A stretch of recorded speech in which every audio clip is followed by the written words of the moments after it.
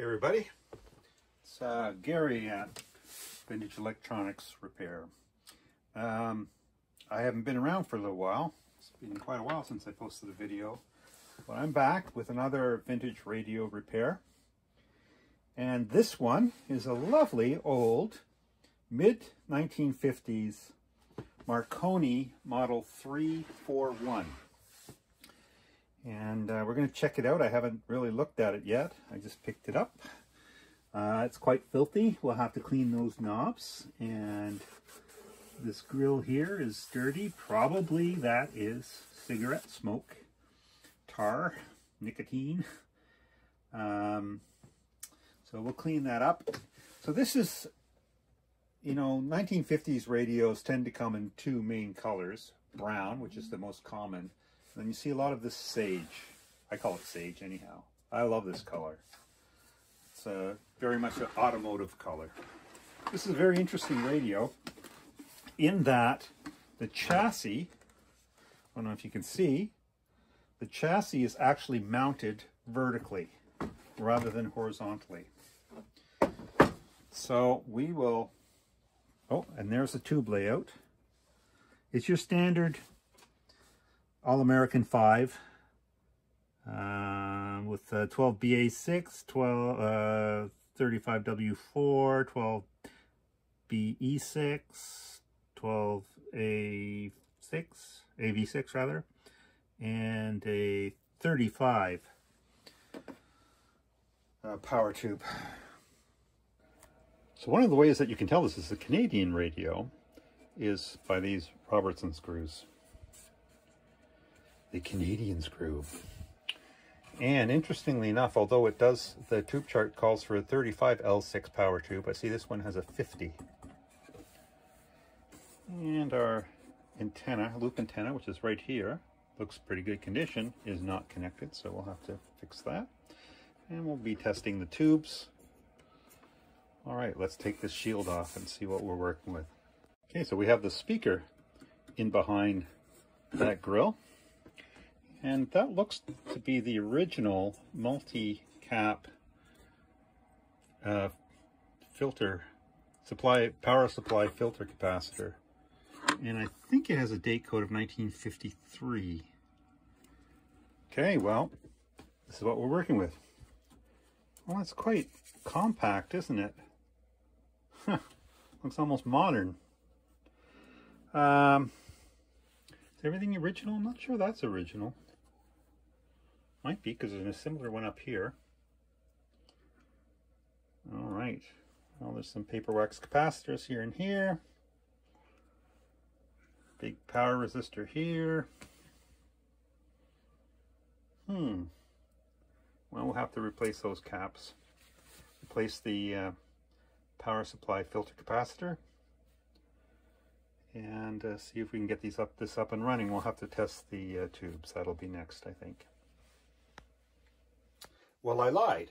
This is a six tube radio, one, two, three, four, five, six, not five. And typically in a six tube radio, you have an extra, in this case, a 12 BA6, which is serving as an initial RF or radio frequency amplifier. So that is boosting the signal that's coming in off of the antenna before it goes into the converter 12BE6 tube here for mixing. Okay, so let's test these tubes and see what they look like. I see that this uh, power tube here has a 19, I'm guessing it's a 1961 date code on it. So that's a replaced tube, not surprising. So I have my trusty EICO 667 tube tester and we'll start by testing the tower, the power tube. I'll just test one on video and then the rest off camera. And this is a 50L6.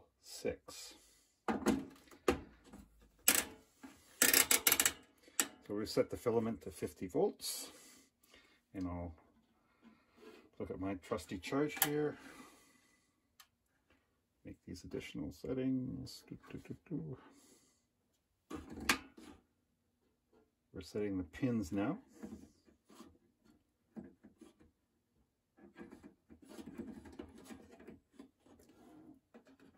Thrilling, eh? Okay, good to go.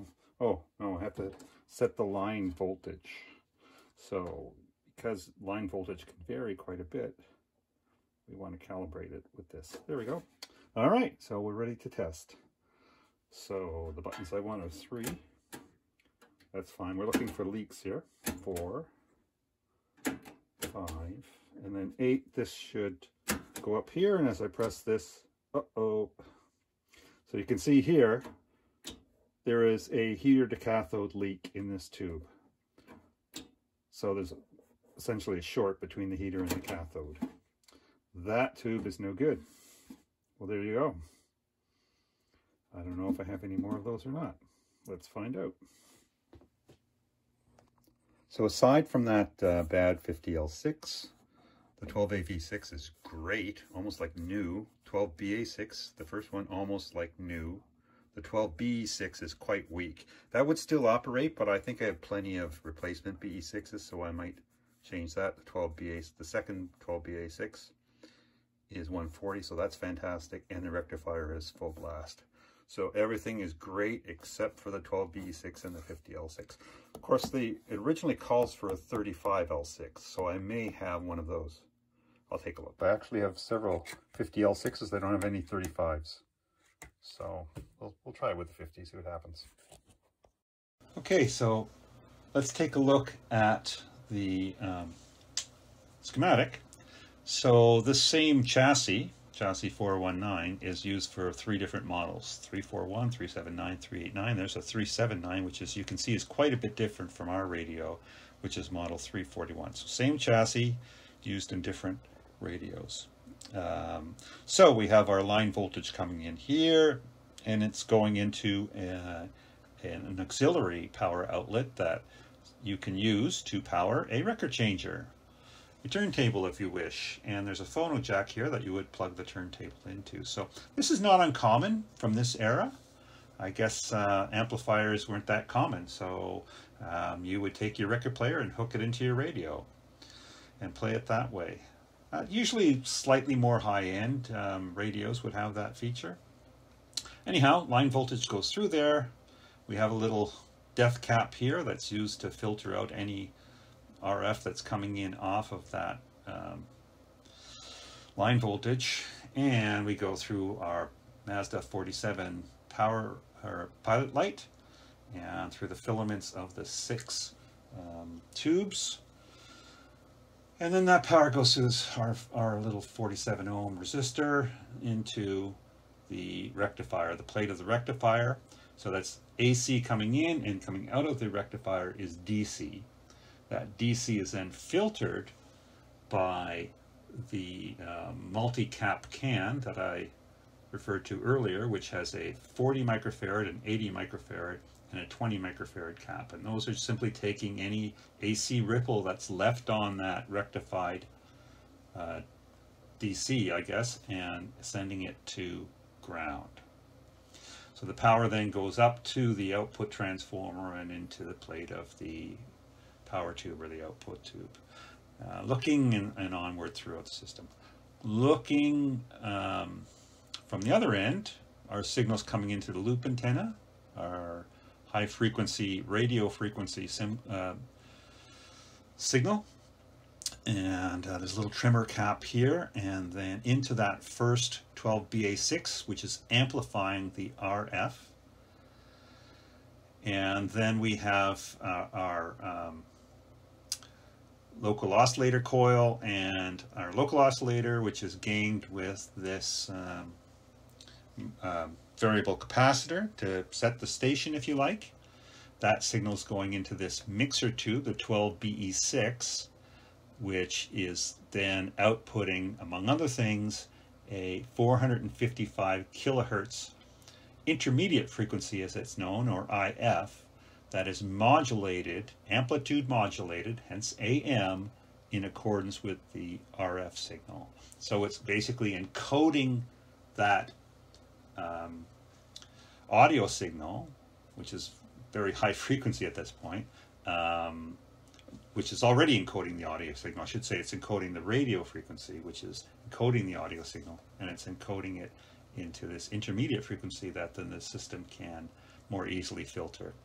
So that 455 uh, kilohertz signal is going through this first IF transformer to filter out anything that's not 455 kilohertz into this next amplifier tube and then into another transformer for more filtering and on to the 12AV6 which amongst other things is serving as a detector these two diodes here and that is turning that intermediate modulated an intermediate frequency into an audio frequency signal which is then sent on to the output tube and to the output transformer and to the speaker. And there you go. That's a radio. so uh, let's see. Um, let's see how that translates into actual uh, components on the chassis. First thing that we're going to do is to replace this power cord because obviously that's not usable. And we'll put in a polarized cord in now. Well, I've realized that I'm all out of brown power cords. So I'll make a quick trip to the dollar store and buy some extension cords and away we go. But in the meantime, I think I'll replace these capacitors. Um, one, two, three, four, five, six caps. And there is that couplate that has some small value capacitors in it. Hopefully that's okay. Otherwise we'll have to replace those individual parts. And away we go. I think I'll start with this one, this paper wax capacitor here, which is the most challenging because it's buried in behind everything else. Um, so we'll just clip it out, see what the value is. Can't quite figure out which one it is from the schematic. Might be 0.05. And uh, we'll get that back in. Yeah, it's a 0.05 microfarad Aerovox. All right, well, let's get that in there. Now, because of the amount of stuff that is soldered to these posts, and one of the beauties of wire to of uh, point-to-point -point wiring is you never actually know without paying a lot of attention whether that post is just uh, a non-used post that's just being used to bind these different things together or whether it's actually a relevant pin of that tube or not you can look at the schematic and figure that out pretty quickly. But uh, quite often you'll have all kinds of things attached. So in this case, I'm not going to bother unsoldering that and soldering the other piece, the new capacitor in. Instead, I'm just going to create a J-hook. And I've added some spaghetti covering here, as was on the original, to protect it from shorts. And we'll just J-hook that on there. Okay, so that's done. Off to the next one. There is this little 0.003 microfarad cap between the plate of the power tube and the output transformer. So that's right over, let me show you. That's this guy right here. So we'll replace that right now. And you can see that just crumbled when I removed it. So that was ready to go. These are crappy, these Hunts. These Hunts capacitors, garbage. Okay, that's in. Next up, this guy. These two. Oh no, look at that. There was another one snuck in behind those. Hmm. We'll have to track those down on the schematic. Okay, so that little sneaky guy is in. That was a 0.005 connected to the uh, pin 7 of the 12AV6. Here's something interesting. Look at this. This um, resistor was just hooked onto this post. It was never soldered. 70 years ago, somebody made a mistake. is that something? Okay, so all that stuff is done. Now we move on to these two. Okay, those are done, and we have an extension cord ready to go. Turn this into a power cord. Okay, so the power cord is in to the switch. And now we turn our attention to this multi-cap can here. This is the power supply filter capacitors. Okay, so what we have here is an 80 microfarad, a 40 microfarad, and a 20 microfarad. Uh, I don't have any 80s. I have lots of 47s. so we're going to use two 47s in parallel for the 80, and then a 47 for the 40, and then a 22 for the 20. and uh, let's make that happen. Okay, so here's what I did. To replace this multi-cap can, which has an 80 microfarad, a 40 microfarad, and a 20 microfarad, I use these individual electrolytic capacitors. And I use a terminal strip, although I'm not using the ground terminal because I don't want a chassis ground at this point. And uh, I actually had some pushback, modern pushback wire. So I used that where I could. So there's green for the ground and then this yellow one. And I didn't have any red, unfortunately. so I used a vinyl red one. So the modern uh, pushback is looks like the old stuff, except that it has an interior vinyl coating, uh, which is fire resistant. Of course, the old stuff is no longer up to code. So anyhow, that should take care of it. I think we've done all the wiring we need to do, and we're just about ready to test this thing. So we have it hooked up to a light bulb limiter and an isolation transformer and a variac. and I have the speaker hooked up. I have the antenna hooked up. I think I have it turned to radio. I'm just going to give it some power slowly, bring it up on the Variac. And we have the light bulb, the pilot light, which I actually didn't bother changing, seems to be lighting. So we're getting some power from, at any rate, uh, but that doesn't mean too much. So the question is, can we get any noise out of this at all? So I have it up to uh, 90, about 100 volts. Usually these things start kicking in around 90 volts, but with the isolate, with the uh, light bulb limiter, that might change things a little bit. Oh, there you go. We're hearing some noise. Wonder if we can get any reception. I only have one AM station in this neighborhood. Hey. Wow. Well, the reception's not great, but we got her working. So what we'll do now is we'll do an alignment and uh, we'll see whether we can improve that reception. Okay. So we have our fluke hooked up to the output and we're trying to peak that AC output by with a non-magnetic screwdriver, plastic screwdriver. We're going to adjust these IF transformers. And we have a signal of 455 kilohertz.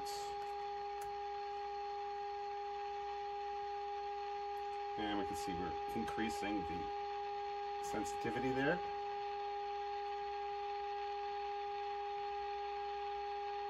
As far as that guy's gonna go. Try this one.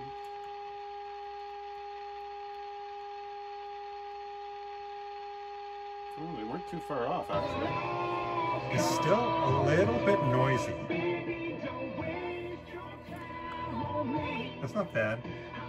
A little noisy.